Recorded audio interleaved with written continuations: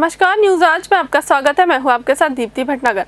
भोपाल में पिछले कई दिनों में मध्य प्रदेश ग्राम रक्षक कोटवार चौकीदार संघ प्रदर्शन कर रहा है। संघ अपनी दो सूत्रीय मांगों को लेकर अड़ा हुआ है। उनकी मांगे हैं कि उन्हें कलेक्टर रेट के बराबर पारिश्रमिक मिले, उन क्योंकि कम पारिश्रमिक मिलने के चलते उनके परिवार का भरण पोषण नहीं हो पा रहा है। वहीं उन्हें भूस्वामी का अधिकार दिया जाए।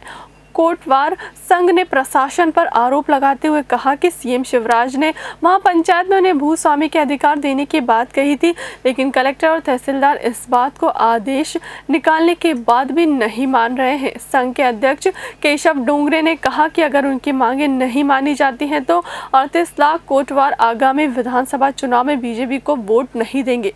साथ ही पार्टी का विरोध कर आम जनता के सामने जाएँगे। आज हमारा 22 मई 2018 से अनिश्चितकालीन धरना यहाँ पर दिया जा रहा है नीलम पार्क में। और ये हमारी मात्र दो मात्र दो मांगों को ले लेकर दिया जा रहा है। पहली मांग है कि मध्य प्रदेश के समस्त कोटवारों को कलेक्टर रेट के बराबर पारिश्रमिक मिलना चाहिए।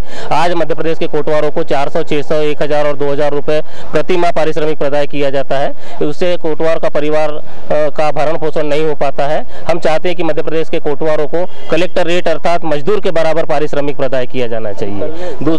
भोपाल से ब्यूरो रिपोर्ट न्यूज़ आज।